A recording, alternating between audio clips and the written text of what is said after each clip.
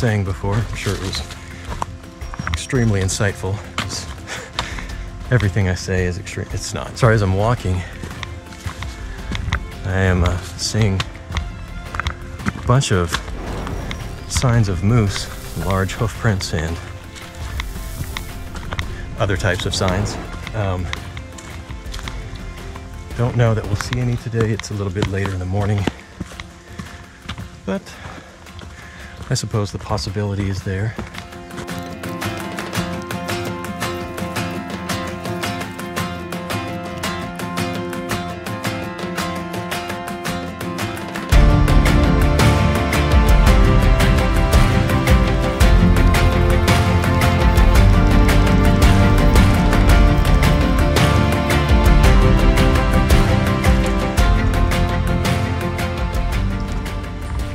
One other thing that's absolutely no joke is the number of uh, biting insects that have already uh, discovered my trail. Fortunately, I'm pretty heavily doped up with bug spray, so I think that seems to be keeping their interest at a minimum. But you can certainly hear them swarming. And that's pretty typical for early summer in northern Maine. Black flies, mosquitoes. Pretty much if it can bite you and suck your blood, it's up here somewhere.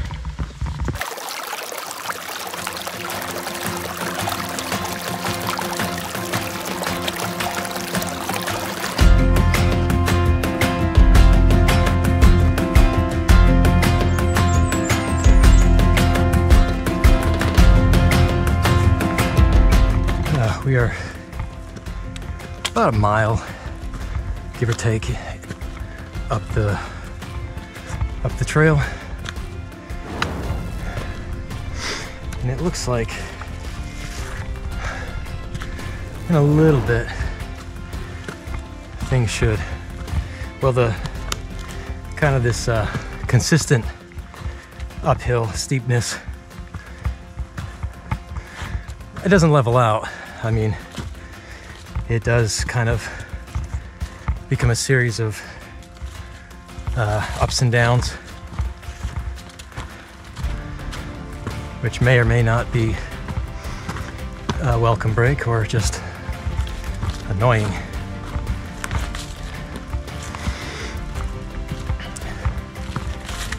I don't know if my audio was working earlier, but I had recently read that sometimes people call elements of trails like that PUDs or pointless ups and downs. Sounds about right. But we'll see. We'll see what we're getting into. This region of land, uh, we're technically in what's called Big Moose Township a little bit uh, outside of Greenville, Maine. But uh, it was originally part of a property belonging to a uh, logging company that, or paper company, that uh, originally had uh, uh, written, uh, signed on to this plan. It was supposed to be a, a multi-year plan. Uh, shoot, I forget the name of it. I'll, I'll put a little text uh, in the video. But um, anyway, that uh, plan was terminated in 2022 or 2020, I believe. Yeah, it was terminated in 2020, and by September of 2022, uh, a new plan had been drafted. Um, but unless you're into real estate and zoning and that stuff, which I'll admit I'm not, you would probably find it almost as boring as I did. I did try to read some of it, but not really. Anyway, it's this trail, this Eagle Rock Trail, was one of the first trails uh, created during that initial part of the original plan. The original Eagle Rock Trail starts on the other side of this uh, feature mountain. Mountain seems a strong word. It's just over 2,300 feet, give or take. But that trail, that original trail, was 1.5 miles one way, uh, steeper, but shorter. Whereas this, which is the, the new trail, relatively speaking, is about 3.7 miles one way. So you're looking at three out and back for the original, about 7.4 for this new one. One of the reasons why I took the the new, albeit longer trail is because there's another feature called Raven's Ledge that's supposed to give you some pretty great views to the west and to the south.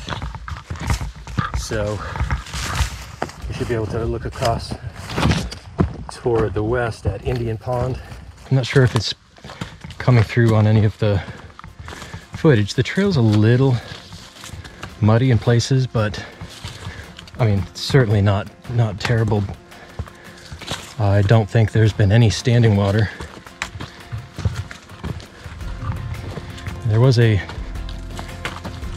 a brief pop-up thunderstorm yesterday, but that was early mid-afternoon and it might have lasted all of 15 20 minutes. And I don't even know if this area, which is north of where I was, uh, if it got it or if it got it as bad or worse or whatever. But overall, pretty good conditions, I'd say. One of the things about the mud is in the tracks, I am thinking that there might be more moose using this trail than humans. And I've got no problem with that. Portions of trail like this where you've got some mature firs uh, on either side, carpeted with old needles, and that smell of uh, maybe not balsam per se, but that resiny fir tree scent almost smells like Christmas. and uh, you know, some blue overhead. We're kind of out of some of the canopy for a little bit anyway. You know, these moments on, on trails are just, in my opinion, some of the best. I just, I really appreciate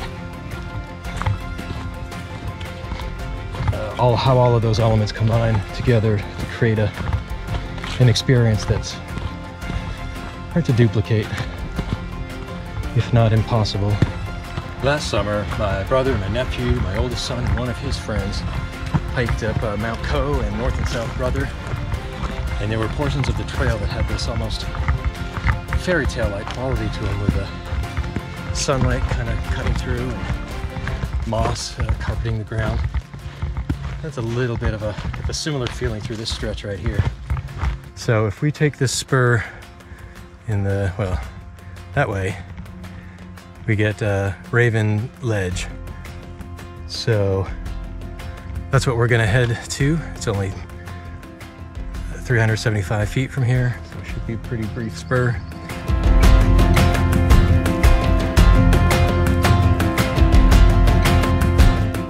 Pretty scrambly 375 feet.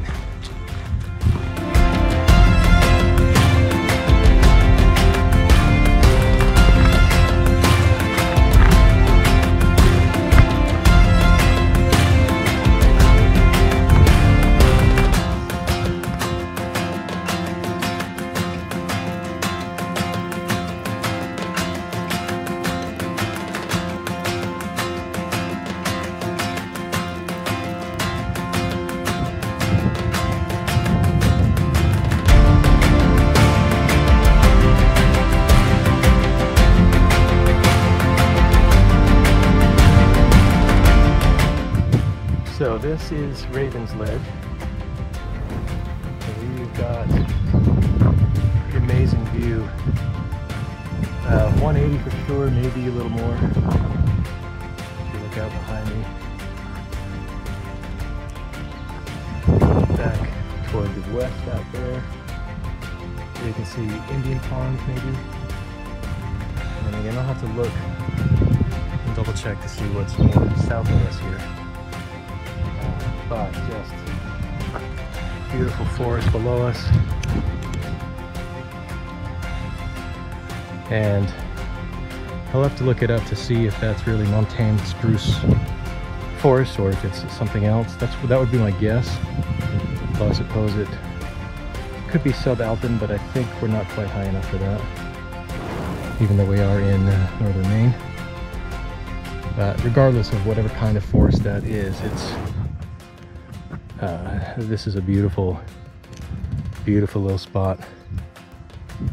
Yeah, let's get down, get uh, that next mile knocked out, and check out the view from uh, Eagle Rock. I'm sorry, I don't think it'll pick up on camera, but way across the horizon, like just on the horizon. I, yeah, I don't know if it'll come through or not, but I believe you can see the wind farm that is in Bingham, Maine. Just barely see that uh, row of windmills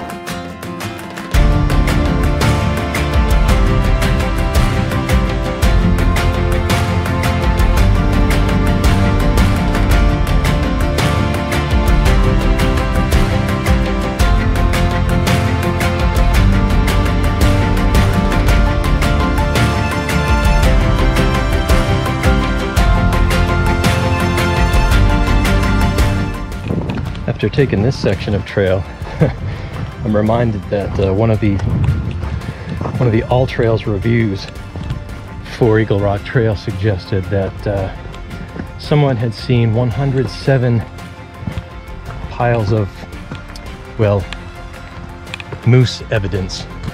And based on what I'm seeing and have seen, that number sounds about right.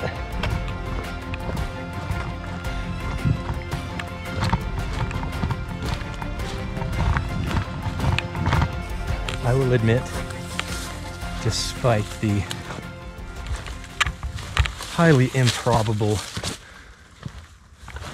odds that uh, I keep looking around anytime I'm in a spot with some not really clearings but a little less little less uh, density hoping that I might glimpse a, a moose.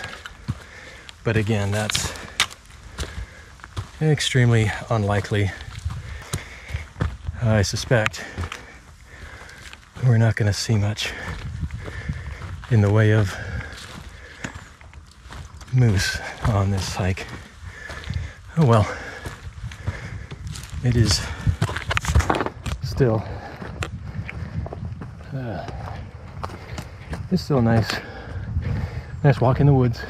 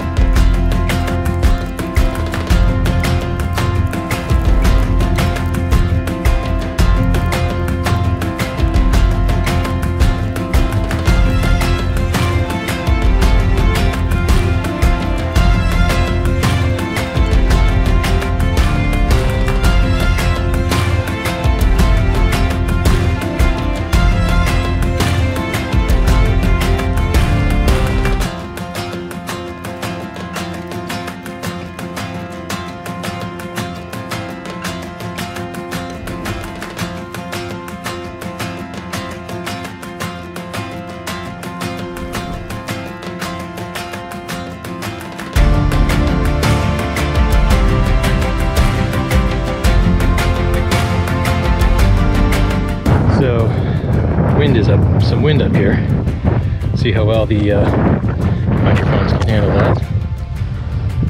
But here we are at the top of Eagle Rock. Again, it's really only uh, 2,370-ish feet, somewhere just over 2,300. So, not not high really in the grand scheme of things, but high enough to give you some amazing 360 degree views. This is beautiful up here. I don't know if it picks up. If I'm right, just about the middle third, top of the middle third, you should be able to see Mount Kineo, which is pretty much right inside of Moosehead Lake. And if you look out, you can see Moosehead uh, just below the horizon, just below all those mountains.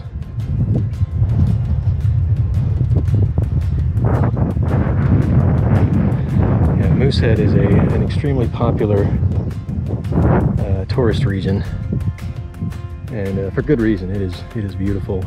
There's there's some chains anchored to hooks in the driven into the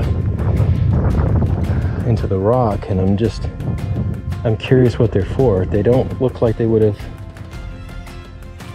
been beefy enough for a, a structure. But then again, uh, I'm not sure. I, when I was trying to find information about Eagle Rock, I could not find a lot.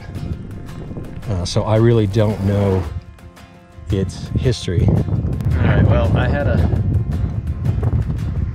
had a little bit of a snack up here. Just uh, a little bit of a, a, rest just to enjoy the, views. I have a sweat coming up here and it's actually a little up here, but that's also typical. Uh, but that said, it's time to head down.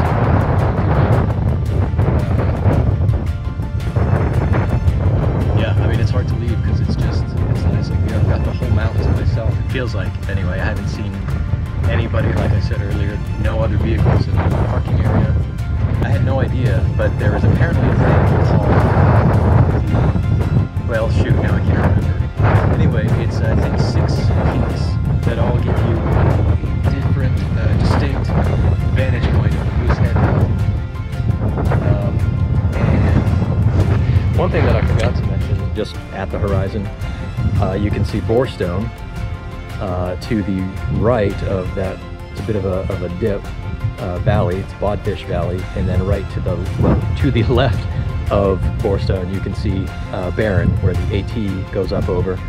Um, and I'll uh, I'll put I'll put links to them in the description.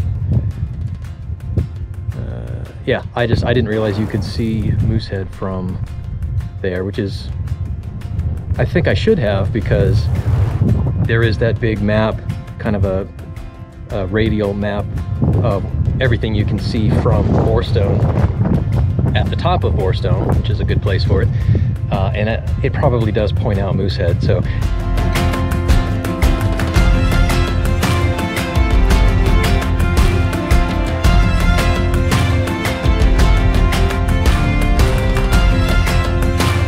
you want to have some grippy soles working your way down Eagle Rock here.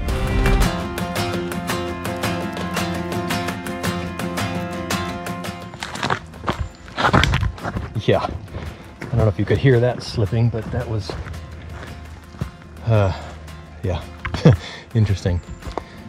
Anyway, we are down off of Eagle Rock, back on the trail, so about uh, 3.7 to 4 miles, depending on who you believe uh, before we're back to the parking lot.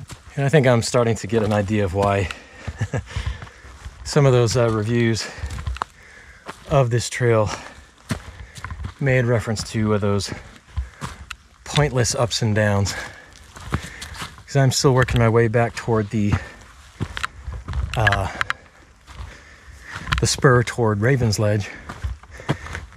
Pretty close, not there yet though. And in some ways, it's feeling like I'm going up another mountain. Uh, I'm sure I wasn't thinking that when I was coming down those little bits here and there. I am definitely feeling the ups on the way back down, as uh, paradoxical as that might sound.